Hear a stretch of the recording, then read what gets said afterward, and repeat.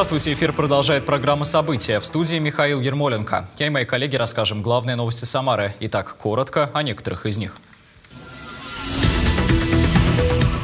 Осмотр благоустроенных территорий и разрешение конфликтов между соседями. Глава Самары Елена Лапушкина пообщалась с жителями Октябрьского района и провела встречу с управляющими МКД в рамках проекта «Мой дом». Показать свои инновационные проекты всей стране, найти новых друзей-единомышленников. В Самарской области проходит молодежный форум «Иволга». Теперь для покупки лекарств нужно показать в аптеке QR-код на экране телефона. Самарские врачи выписали более 30 тысяч электронных рецептов. Скрипки, виолончели, саксофоны и флейты. В детскую музыкальную школу номер 4 завезли новое оборудование и учебные материалы. С пользой для здоровья и без ущерба для кошелька. В Самаре для всех желающих проходят бесплатные тренировки на свежем воздухе. Глава Самары Елена Лапушкина продолжает встречи с жителями города в рамках партийного проекта «Мой дом». Одна из таких прошла в Октябрьском районе. Управляющим МКД и ТСЖ рассказали о том, как решать возникающие проблемы, какой цифровой ресурс поможет оплачивать коммуналку без дополнительной комиссии, как сагитировать жильцов на общие собрания и многое другое. Перед встречей глава города осмотрела благоустроенные дворы и общественные пространства района, а также обсудила с жителями планы на будущее. Подробности расскажет Светлана Кудрявцева. Территорию в Постниковом овраге недалеко от кольца трамвайных путей приводит в порядок. В будущем здесь планируют посадить деревья, разбить цветники. Сейчас все работы ведет строительная компания за свой счет, чтобы облагородить участок. Это вы сами за свой счет делаете? За свой счет, да, Елена Владимировна, решили проявить активную Спасибо позицию. огромное. А предложения какие по этой территории? Предложение, предложение э, продолжить благоустройство, ну, допустим, озеленение, как, потому что газоны достаточно ну, пусто выглядят, так скажем. Вот. И если есть такая возможность, рассмотреть ее как бы закрепление за там, не знаю, специализированной организацией. Может быть, или А она сейчас за вами? Она сейчас, да, она фактически не размежеванная. Ну, вот, то есть мы ее как общественное пространство на голосование выносили, но фактически она обслуживается нашим МБУ. Глава города Елена Лапушкина осмотрела два пустующих участка и предложила местным жителям поучаствовать в областном проекте содействия, чтобы благоустроить территорию. А вот на пятой просеке жители уже сами готовы вложиться в благоустройство сквера, чтобы организовать место для комфортного досуга и даже разработали проект. Я являюсь индивидуальным предпринимателем. И конкретно мы с моей супругой внесли миллион рублей для того, чтобы сделать, благоустроить этот сквер. Он не будет закрытый. Я не хочу эту землю в свою собственность. Всего лишь я навсего хочу, как э, человек, который увлечен своим делом, это чтобы у детей было нормальное место гулять. Не только у моих, а у всех жителей района. Однако против выступили соседи, которые не хотят под окнами детскую площадку. Инициаторы проекта благоустройства рассказывают, что большинство жителей соседних домов проголосовали за детскую площадку, а соседи уверяют, что ничего не знали о проекте. Глава города призвала жильцов все же прийти к общему решению. А тем временем жильцы 22-го дома на Новосадовой радуются благоустройству двора. Территорию привели в порядок по программе «Комфортная городская среда». Но дополнительно жильцы вложились и сами, чтобы благоустроить дорожки к подъездам.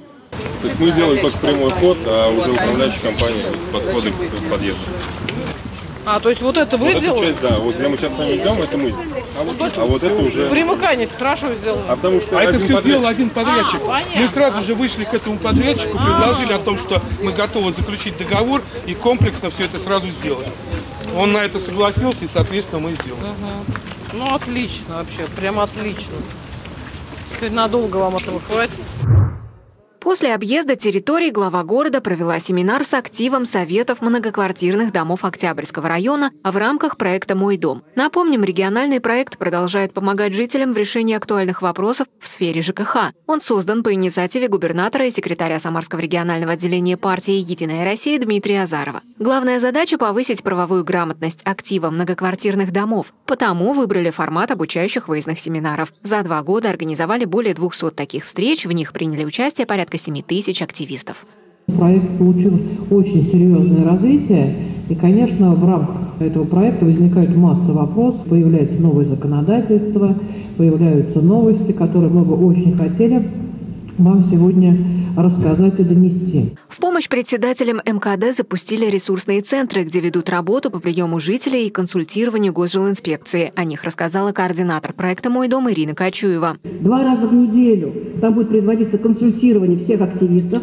Также, и мы уже найдем договоренность с э, государственной жилищной инспекцией, раз в месяц прием будет вестись, именно в том числе и жилищной инспекции. И если мы понимаем с вами, коллеги, что у вас есть какие-то проблемные управляющие организации, и не идут они на контакт, не слышат активистов, не хотят работать вместе со старшими по домам, мы будем их приглашать в эти же ресурсные центры, чтобы те проблемы, которые есть на домах, мы решили к удовлетворению жителей.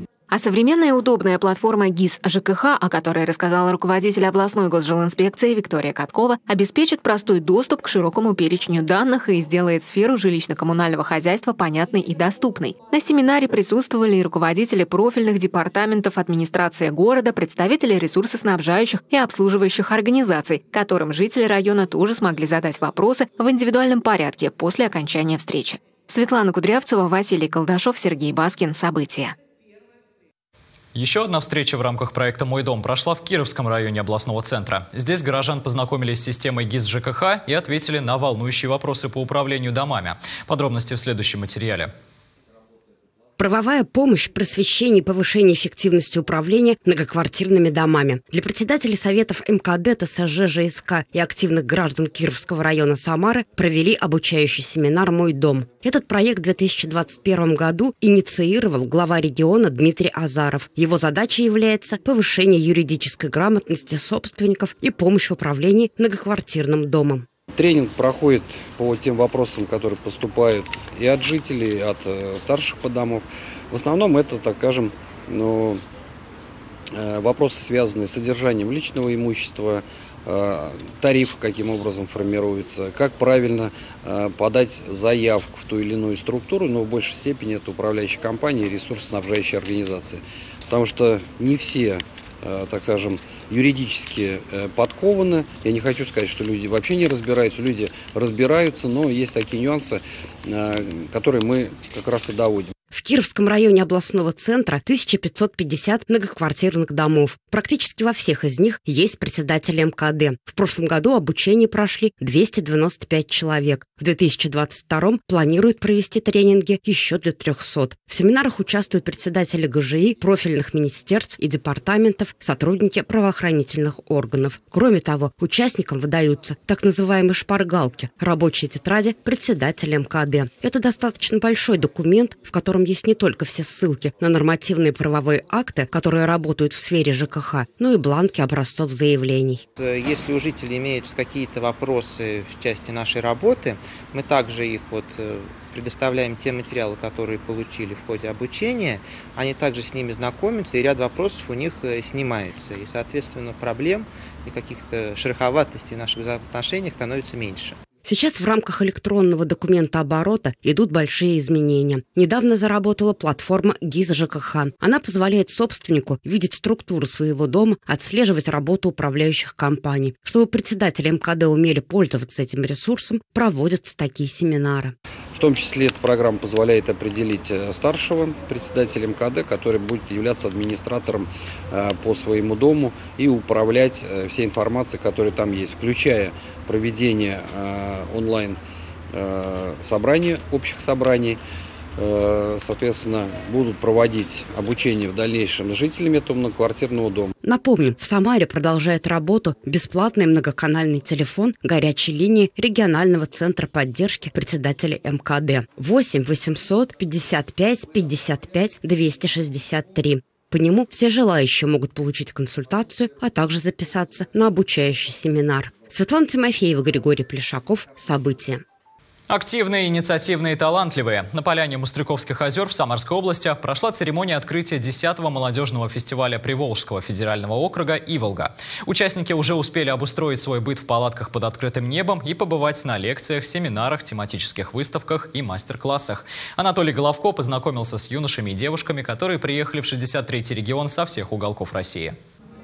Показать свои инновационные проекты всей стране, найти новых друзей, коллег и единомышленников. В Самарской области на поляне Мастрюковских озер стартовал юбилейный десятый по счету молодежный фестиваль «Иволга». После большого перерыва, связанного с пандемией коронавируса, самые талантливые, креативные юноши и девушки вновь собрались вместе под открытым небом. Мы правильно питаемся, мы занимаемся спортом, и мы обязательно, конечно, прокачиваем в первую очередь себя э, и свои личностные качества. В этом году участники форума пройдут образовательную программу, которая включает в себя 9 профильных смен. Ключевым нововведением 10-го юбилейного форума является сквозная тема единства народов России. Кроме того, в программе предусмотрены тренинги, конкурс молодежных проектов, научные и практические конференции, мастер-классы, межрегиональные и межвузовские открытые соревнования по различным направлениям, выставки, ярмарки инициатив, встречи с экспертами федерального, окружного и регионального уровней. У нас и живопись есть, и роспись значков, и плечение фенечек, и жонглирование, и все, что сделают ребята. Любой человек с этого форума, который захочет прийти познакомиться с нами, познакомиться с инклюзией, с нашими ребятами, а, унесет а, частичку с мастер-класса с собой на память об этом замечательном форуме. Авторы лучших проектов получат финансовую поддержку для реализации своих идей. В этом году грантовых конкурса два – окружной и всероссийский. В рамках первого три направления – бизнес-проекты, проекты в сфере государственной молодежной политики и этнокультурное многообразие и единство народов. Победители смогут получить грант до 500 тысяч рублей. В рамках всероссийского – 15 направлений. На поддержку своих инициатив у резидентов форума есть возможность выиграть до полутора миллионов рублей. Я приехал презентовать свой проект э, «Автономика». Мы уже прошли, посмотрели по спискам а, в финальную стадию. 26 числа уже будем защищать проект и получать финансирование на него. Молодежный форум ПФО проводится в Самарской области под патронатом полномочного представителя президента Российской Федерации в Приволжском федеральном округе Игоря Комарова. Организатором выступает правительство Самарской области при поддержке Федерального агентства по делам молодежи. Большое внимание поддержке творческой молодежи уделяет и губернатор Самарской области Дмитрий Азаров. Дерзайте, творите, оставляйте яркие эмоции на всю свою жизнь. С открытием Иволга! Мне хочется пожелать вам замечательной творческой работы, чтобы вы вышли отсюда с приобретенным багажом знаний, с дружбой, с новыми командами, с новыми друзьями. Ну и закончится, мне хочется свое выступление словами, которые так часто звучат на этой поляне. Как здорово, что все мы здесь сегодня собрались. Поздравить участников форума в день открытия приехала глава Самары Елена Лапушкина. Все креативные идеи, все самые современные идеи, конечно, идут от молодых людей.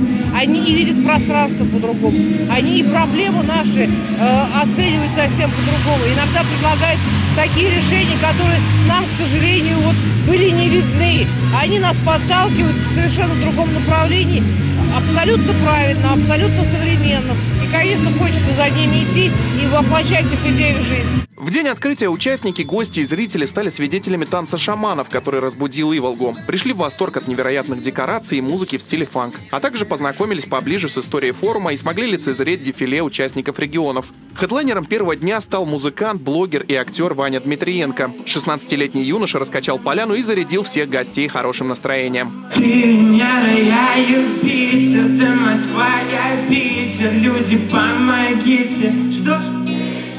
Я Юпитер, ты Москва, я Питер, на одной орбите.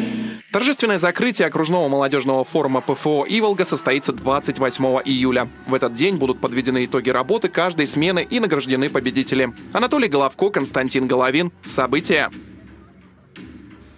Самарские врачи выписали более 30 тысяч электронных рецептов. Об этом сообщили в региональном министерстве здравоохранения. Сервис внедрен в работу медучреждений по поручению главы региона Дмитрия Азарова. Теперь врачи могут выписывать рецепты в электронном виде непосредственно в информационной системе при оформлении карты пациента на приеме. Врач, используя свою цифровую подпись, выписывает рецепт в форме электронного документа. Дополнительно медработник может проанализировать всю информацию о предыдущих назначениях, схеме приема, дозировке, дозировках, а также совместимости лекарственных препаратов. Чтобы пользоваться электронными рецептами, пациенту необходимо установить мобильное приложение «Мой рецепт». Там можно посмотреть, в каких аптеках купить препараты и по какой цене. Для покупки достаточно показать QR-код на экране телефона.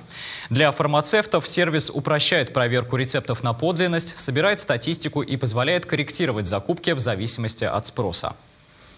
В пятницу 22 июля глава Центробанка Эльвира Набиулина озвучила прогнозы на ближайшую перспективу. Ценовое давление продолжает ослабевать. Снижение цен продолжается почти без перерыва вот уже 9 недель. Экономический спад будет более растянутым по времени и, возможно, менее глубоким. По оценкам Центрального банка, в этом году он составит 46%. Оборот наличных долларов в России сохранится даже при самом апокалиптическом сценарии. При этом Центробанк продолжит политику по стимулированию перевода балансов банков в рубли или валюту дружественных государств. Красных линий по уровню ключевой ставки для Центробанка нет. Ее траектория будет такой, какая потребуется для снижения уровня инфляции до 4% к 2024 году. В сентябре Банк России будет вынужден продлить ограничения на выдачу наличной иностранной валюты. Лимит составляет 10 тысяч долларов. По словам Эльвиры Набиулиной, он сопоставим с размерами 90% имеющихся валютных вкладов.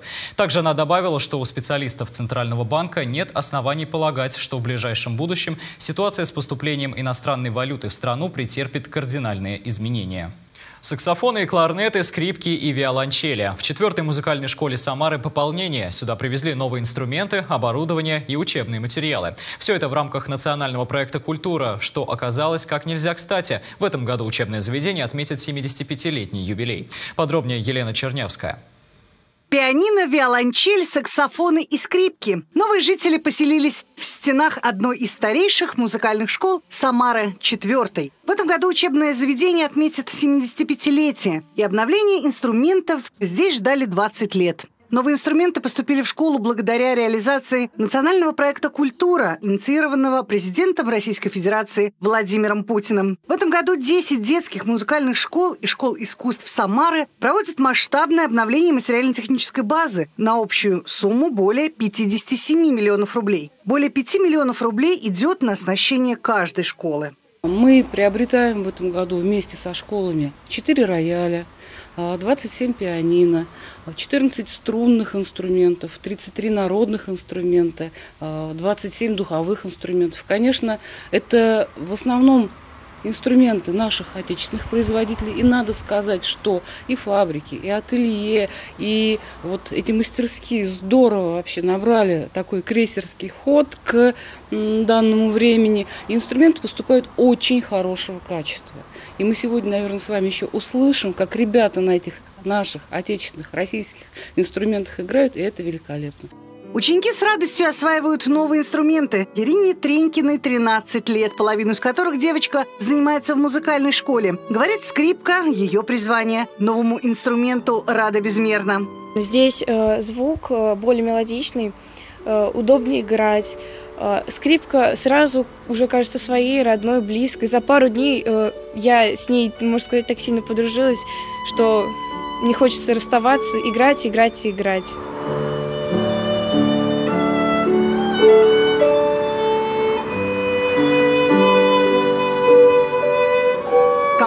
Музыкальных инструментов школы пополнили четыре новые скрипки, три виолончели, два саксофона, два кларнета, три флейты. Фортепианный класс оснастили новыми пианино российской фабрики Михаил Глинка. Тезка великого композитора Миша Галутва играет на новом инструменте осторожно, прислушивается к его звучанию и делится впечатлениями.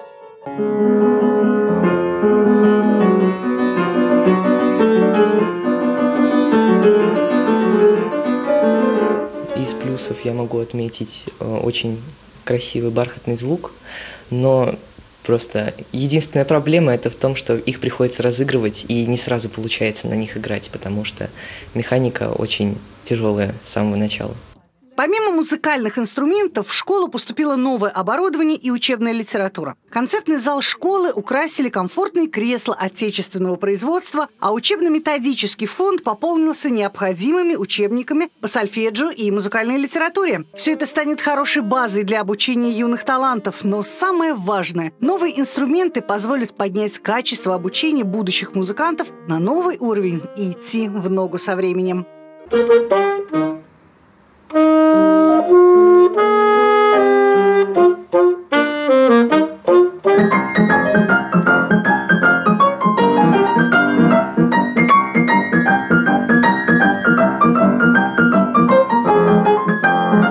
Инструменты струнные, духовые закуплены, конечно же, прежде всего для э, пополнения творческих коллективов. Может, будут созданы какие-то новые интересные коллективы, расширится репертуар, обновится, э, дети вольются в эти творческие коллективы. Наши детки раскроют свои таланты на конкурсах. Я думаю, что школа получила новые возможности и перспективы.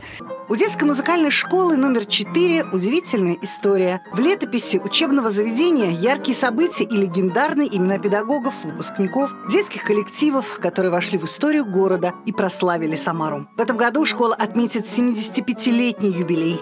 Елена Чернявская, Сергей Баскин. События. Провести лето с пользой для здоровья и без ущерба для кошелька. В Самаре продолжаются бесплатные занятия на свежем воздухе в рамках акции «Самара в движении». Обо всем подробнее расскажет Александра Гусева.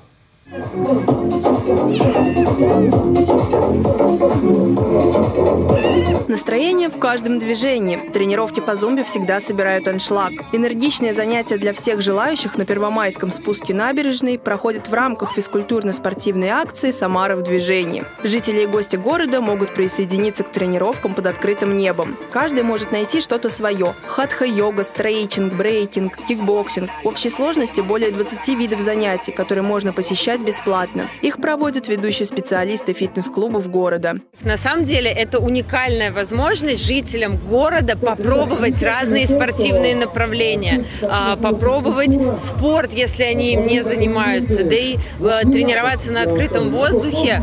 Ну, это потрясающе. Зумба – это микс из элементов самбы, сальсы, хип-хопа, фламенко. Танец очень энергичный и зажигательный. Основатель направления придумал эту программу случайно в 2001 году. Хореограф-танцор из Колумбии Альберто Перес однажды забыл взять на тренировку свой плейлист. Ему пришлось заниматься под латиноамериканские мотивы. Тренировка оказалась настолько зажигательной, что танцор решил создать программу, которую назвал «Зумба», что в переводе означает «веселье, жужжание». Сегодня зумбой занимаются во всех уголках мира. Движения простые, ритмичные и задействуют абсолютно все мышцы тела. Результат – хорошее настроение, стройная фигура и крепкое здоровье. Зумба – это у нас танцевальная фитнес-программа, основанная на латиноамериканских ритмах. Это такая очень веселое, зажигательное занятие, да, на котором у нас люди могут просто прийти и и, и, э, и просто потанцевать. Акция «Самара в движении» продлится до 27 августа. Расписание занятий можно найти на сайте администрации Самары. Александра Гусева, Максим Гусев. События. Эксклюзивный проект телеканала «Самара ГИС». Обзор телеграм-каналов городской администрации и профильных ведомств. Вот о чем они пишут на своих информационных площадках. Телеграм-канале администрации Самары «Вести с Дворянской» сообщают о временных ограничениях движения транспорта в связи с проведением областных спортивных соревнований. Для проведения чемпионата и первенства Самарской области по лыжероллерам ограничения будут действовать с 8.30 до 15 часов 23 июля и с 14 часов до 8 часов вечера 24 июля по улице Арена 2018 от проезда номер 6 до проезда номер 2. Ближнее примыкание к улице Демократическая по проезду номер 2. А в связи с проведением первенства первенства Самарской области по велоспорту с 8 утра до 2 часов дня 24 июля и с 8 утра до 4 часов вечера 25 июля ограничение движения вводится по улице Арена 2018 от проезда номер 8 до поворота на проезд, ведущий к улице Малый Сорокин-Хутор, по улице Дальней от улицы Арена 2018 на участке протяженностью 500 метров по проезду номер 2.